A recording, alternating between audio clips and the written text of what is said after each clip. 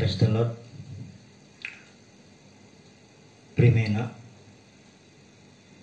నా ప్రియ సహోదరి సహోదరులందరికీ కూడా సర్వలోక రక్షకుడైన యేసుక్రీస్తు నామంలో మీ అందరికీ మా యొక్క శుభవందనాలు తెలియజేస్తున్నాం. ప్రియమైన వాళ్ళరా ప్రస్తుతం ఈ ప్రపంచానికి ఇస్తున్న కరోనా ఈ కరోనా అనే మహమ్మారికి ఈ ప్రపంచమంతా కూడా భయపడతా ఉంది. ఈ కరోనా అనేది ఏ మనుషుని చేత తయారు చేయబడింది కాదు కానీ ఒక వైరస్. ఇది కంటికి కనబడని అంత సూక్ష్మ జీవి. అయినప్పటికీ కూడా సర్వలోకాన్ని కూడా భయాందోళనకు గురి చేస్తూ ఉంది. అయితే ప్రేమిన్ వల్ల మనం విషయం తెలుసుకుందాం. ఈ భూమి మీద నివసిస్తున్న మనం అందరం కూడా మహాదేవుని పిల్లలమై ఉన్నాం.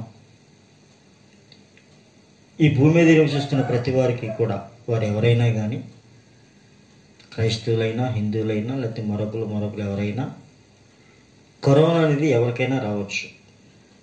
అయితే కరోనా వచ్చినంత మాత్రాన వాళ్ళేదో పాపాత్ములుగాను లేకపోతే అది భయంకరమైన రోగానికి గురైపోయిన వారుగాను మనం వారిని చూడడం అనేది మహా తప్పు పాపం కూడా.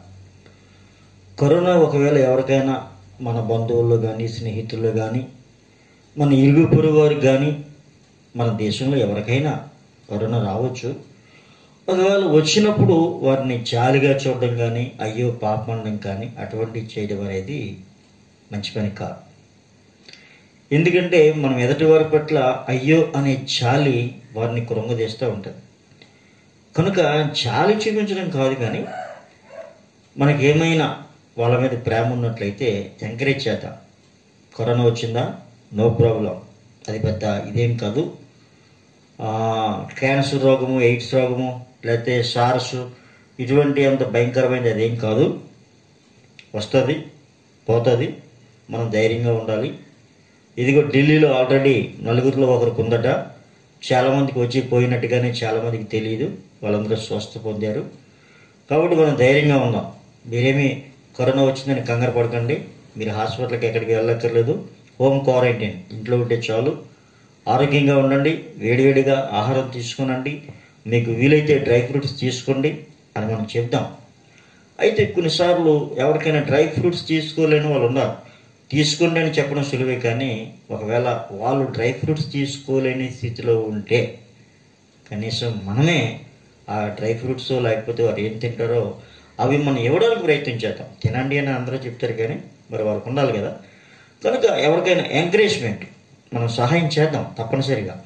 కరోనా వచ్చిన వాళ్ళ పాపాత్ములు కాదు రాని మన పుణ్యాత్ములమి కాదు. కనుక ఎవరికైనా రావచ్చు అది. వారిని ఎంకరేజ్ చేయాలి.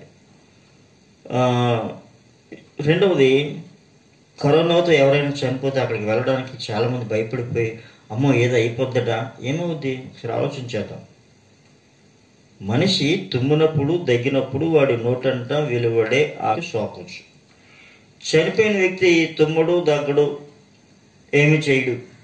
ఆ వ్యక్తి నుంచి ఎలా బయటకు వస్తుంది? ఒకసారి ఆలోచన చేయండి. చనిపోయిన వ్యక్తి నుంచి ఎటువంటి కరోనా బయటికి రాదు వైరస్ బయటికి రాదు. కనుక అదేదో పాపం జరిగిపోయిందన్నది కాకుండా తప్పనిసరిగా ఇతరులకు మనం సహాయం చేసేవారుగా. కరోనా అనేది భయంకరమైనది కాదు. ఒకవేళ కరోనా నుంచి తప్పించుకోవడానికి మనం ఏమైనా చేస్తే మరొక రోగం ద్వారా చావచ్చు. కనుక అటువంటి పరిస్థితులు కాకుండా కరోనా వచ్చిన వారిని మనం చూసి మీకు కరోనా వచ్చిందా? ఏం పర్లేదు. ఇది పెద్ద రోగం ఏం కాదు. లోకంలో చాలా రోగాలు ఉన్నాయి. అమ్మ జాంత్రాక్స్ వచ్చింది. దానికంటే భయంకరమైనది ఇదేం కాదు. దీని నుంచి మనం విజయం పొందగలం. అని ఉత్సాహం ఉత్సాహపరిచి ఇది నన్నేమి చేయదు అని ఆ ఎవరికైతే కరోనా వచ్చిందో ఆ వ్యక్తి ఇది నన్నేమి చేయదని తెలుసుకునేంత ధైర్యాన్ని మనం నూరు పోసినప్పుడు అద్భుతం చూడగలం. కనుక ప్రియమైన వాళ్ళరా కరోనా వచ్చిన వారిని చూసి జాలిపడద్దు. అయ్యో పాపం అనవద్దు వచ్చిందా? వస్తే రాని. మనకు రాకపోతే ఇంకెవరికి వస్తుంది? పోతుంది అది. వచ్చిందా? అని అదే పోద్ది. దాన్ని పోయేలా మనం చేద్దాం. మనం తిందాం అని ఉత్సాహాన్ని నూరు పోసే వరకు మనం ఉందాం. కనుక ప్రియమైన వాళ్ళరా ఈ కిర్లంపూడి ఉమయ్యగా లిటిల్ ఫ్లక్ చర్చ్ మీకు తెలియజేస్తుంది ఏంటంటే భయపడొద్దు. బైబిల్ సెలవిస్తూ ఉంది. భయపడొద్దు. భయపడకుడి జడేయకుడి వెరయకుడి నేను మీకు తోడై ఉన్నానని కాబట్టి ప్రియమైన దేవుని సంగమా దేవుని ప్రజలరా సర్వలోక నివాసులారా మీ అందరికీ కూడా మా వినపం ఏమిటంటే ఈ కరోనా అనే రోగానికి ఒకరు కూడా భయపడొద్దు. అది మనల్ని ఏమీ చేయలేదు. అది మనం చూసి పారిపోయే దినాలు అతి దగ్గరలో ఉన్నాయి. అందుకు మనం కంకణం కట్టుకుందాం. కరోనా సోకిన వారిని జాలిగాను ఎంతగానో చూడొద్దు. వారిని ప్రోత్సాహపరిచి వారిని ధైర్యపరిచి త్వరగా కోరికల వారికి చేద్దాం. God bless you. మీ అందరికీ మా వందనాలు.